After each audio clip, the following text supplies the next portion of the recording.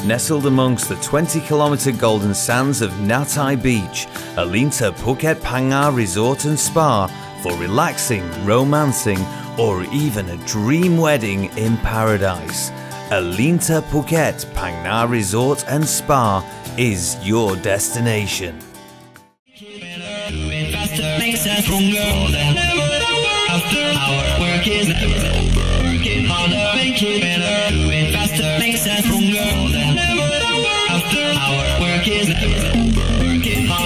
I'm JP here for the Phuket News TV, and we're here at British International School at a training session for the High Performance Academy. Now this place has been cultivating some of the top athletes in the region for quite some time now. And their swimming team are starting to set national records all over Asia and some of them have even qualified or set times to qualify for the World Youth Games. And we're going to talk to Coach Simon Jones and some of the swimmers about what makes them tick and what makes them such good athletes.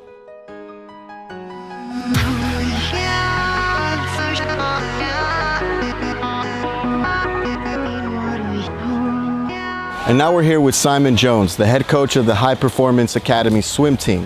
How good this team really is right now. Okay, well, this team was established back in August last year, August 2013. Uh, we had literally four to five weeks to actually compile a group of international class swimmers uh, that are based on the scholarship program here at BISP. And uh, the swimmers that we managed to attain on the team all came from international swimming backgrounds. Uh, we have two swimmers that are representing the Philippines. We had two swimmers from Singapore. We have a girl from Malaysia. Um, sorry, one from Hungary and two from Malaysia actually. Um, so within that very short period of time over the summer break, we were able to compile a very, very strong swimming academy. And this is going to be replicated again this coming summer with a further six or seven international swimmers joining the team. And the aim is that each year we will continue to add between five to eight international athletes on the program. I see. And uh, last year, you guys have been to a, number of, of very tough competitions, you know, some that are are some of the toughest in the world actually. Some of your swimmers have done very well in those competitions, haven't they? Yes, uh, I have to say the the first meet we went to was the Singapore World Cup back in uh, November of last year.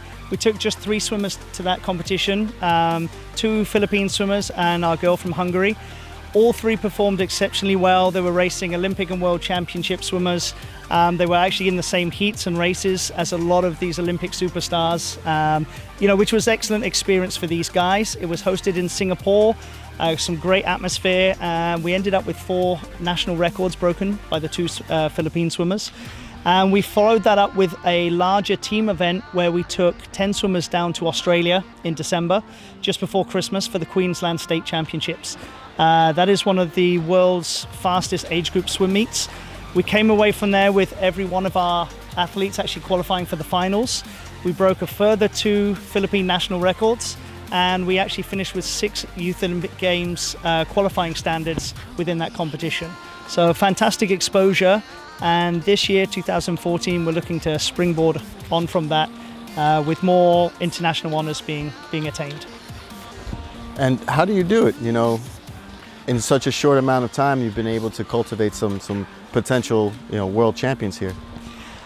Well, I have to say, uh, myself, having come from uh, probably 15 years of coaching background in, in a number of countries and, and top international teams, BISP, the, the British International School, the headmaster, Mr. Neil Richards, has really been instrumental in providing both the academic support uh, and also the, the facilities, boarding and, and uh, the, the sports nutrition for the athletes to ensure that really the environment here at BIS uh, is conducive for the swimmers to train uh, to the best of their abilities, combine their academic studies, and enable them to rest, uh, you know, enough in between. They're, they're currently training nine sessions per week, and we have four to five land work sessions on top of that. Um, and I'm sure any coach would be happy with, uh, you know, for what we've had since August, which is 100% attendance from our swimmers at practice. So we, we've got a group of very, very dedicated athletes, and uh, I think the, the multitude of nationalities here has really lent itself well for the swimmers to also learn from their peers. So uh, it's been a good learning experience for all of them, but you know, I, I think anybody at this level would say you're always trying to strive to something slightly higher in the next level. So Youth Olympic Games would be great, but we're also looking towards Rio 2016 on uh, providing the backbone for these swimmers to, to progress and gain selection there.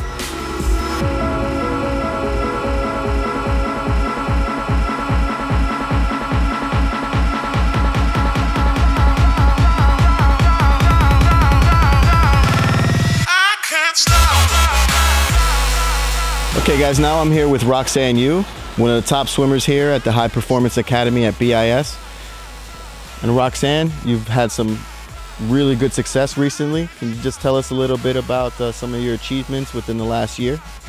So, um, the first meet we had was in Singapore, and I fairly did all right. I broke um, some national records in the Philippines, and um, as well as in December, we had a competition in Queensland.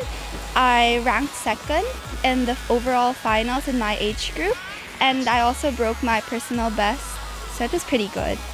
Yeah. And you might be going to uh, the World Youth Olympics later this year.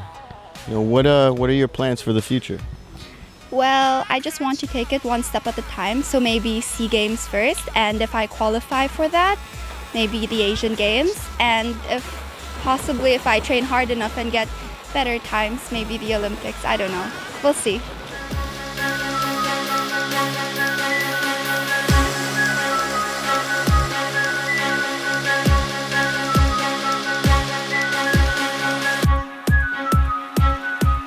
Hey guys, now we're here with Eric Tan, the 50 year old swimmer here from the High Performance Academy at British International School. Now, Eric, I wanted to ask you, how does it feel to be training alongside some people who you could potentially be competing against in the near future? Uh, so training with like people that's faster than me, I feel like I have competitions and they can like push me up to improve. And when I train, it won't be as boring like when you always go first. You can like compete with each other. And uh, since you've arrived at British International School last year, what are some of the top uh, moments that you can recall? Some of some of your proudest achievements in the last year. Um, last year in Queensland, I did quite okay because um, I was sick, but I still did some PBs, which is good. And about a month ago, I went to Singapore national age group, and I smashed um, some PBs, and um, I'm still currently um, rank one in Malaysia for my age group for some of the events. So I'm quite happy. Okay. And what of uh, you know what are your goals for the for the future? You know, I mean, you're here for a couple more years, so you're on the younger side of this stuff, but you'll have more time to to really develop. So what uh, what are some things you want to achieve? Okay, so first of all, um, I want to qualify to uh, YOG with Youth Olympic Games, which won't be easy, and also AYG Asian Youth Games. Yeah, that's like the main ones. And for a longer period, maybe I want to go to Olympics.